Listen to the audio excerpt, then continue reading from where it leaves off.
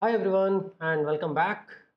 And this weekend we are going to talk a lot about GraphQL, uh, about different ORMs in Node.js and about lot of about testing.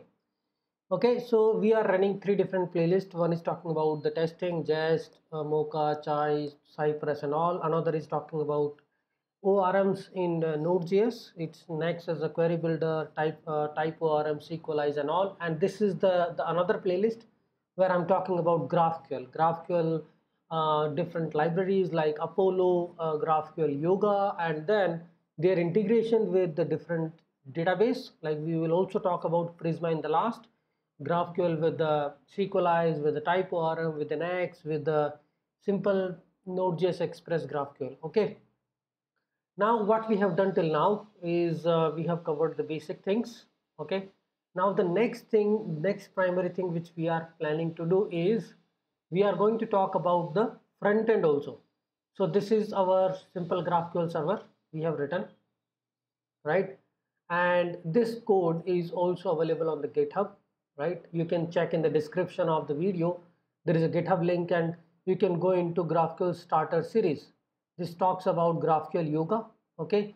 So all these are specific folder is one specific folder is about GraphQL Yoga, another for, for GraphQL Apollo, then another folders are talking about GraphQL with the Sequelize, type ORM with the Prisma.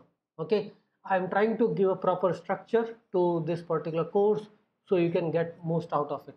So we have done in the initial videos, we have done the basics about GraphQL and finally we were able to write the query mutation subscription with just a mock database or mock JSON objects okay?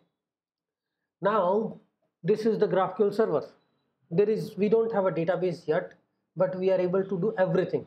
Now we are trying trying to patch this with the front end in React and we'll see how front end React can make a query to the GraphQL queries mutation and subscription right? Then it will become a full stack. If you also know okay how to integrate uh, GraphQL queries and mutation at the clients, client side in the React or Angular. We'll talk about React.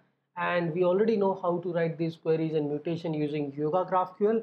And in the client side we can use Apollo. So it's like end-to-end -end setup we will be doing. And after that we will talk about Yoga GraphQL little advanced concepts like data loader and all. And then we will close GraphQL Yoga. And then we will start with Apollo GraphQL server and then we will do the integration with let's say MongoDB, TypeORM, Sequelize, Postgres, MySQL and all.